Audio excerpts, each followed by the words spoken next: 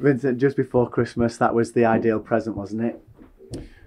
Yeah, um, it goes out to our fans. Really, that's that's that's massive. I um, you know, I can see, I can see, I can see what it means to the players as well. But it's always those moments when the players and the fans come together after the game that give me real, real joy. And and as many times as we can do this, we had it a lot last season. This year it's a little bit tougher, but um, you know, it means so much, and, and hopefully we can keep uh, keep sharing these moments together. Just before we get to the goals, it just felt Burnley led maybe a little bit of a charmed life just before half time, but absolutely everybody put the body on the line to make sure that the goal defended well, didn't it?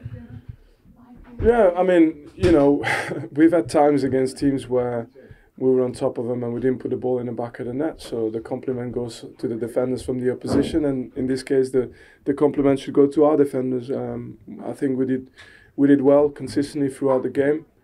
Um, but the game shifted for us. We started really well. Let's not forget this. So uh, we started really well, but the game shifted for us when we started being more aggressive on those second balls, loose balls, and we were coming out with the ball a lot more.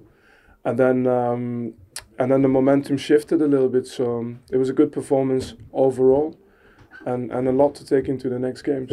And in terms of the start of the second half, started even better. Three goals in five Premier League starts now for Wilson Odobert. But what a goal that was! Yeah, it's. Um, I think he's a player when he's in those positions, whether it's crossing positions, shooting positions, that um, it's something he's going to have in his career. He's going to have goal threat. We see it in training every day. If you're able to do it at 19 years old in the Premier League, that's that's not going to go away. We just keep him grounded, working hard. Um, he's come right behind Luca Koleosho, who set the bar really high. So, you know, he's just got to keep working hard to um, to get the maximum from his potential. But it's a good start. And that, that second goal was really important, wasn't it? And, and Sander Berge had been brilliant up to that point. In fact, we were just talking about in the press box how good he was. It was some some goal for him as well. Yeah, and, and Sander, I'd like to say that he's still got a lot of growth in him as well. Um, I really do. And um, if he continues his progression like he's done since the start of the season, then um, who knows? Players like this as well are, are, are really important for us as a team, and and and uh, we'll um, we'll hopefully have a lot of joy as well of still seeing them perform for us, and hopefully getting us back back up the league. And just finally, you mentioned togetherness at the start. It's yeah. been apparent all season, maybe not for everybody to see, but we've seen it in the dressing room, we've yeah. seen it from the from the top as well at the club, the owners supporting you, the fans, the away fans today were absolutely magnificent. And and all that time you've just been Burnley, you've cancelled out all the external noise and just stayed together. Yeah, yeah, yeah. I mean, we don't really care whether the outside world sees it.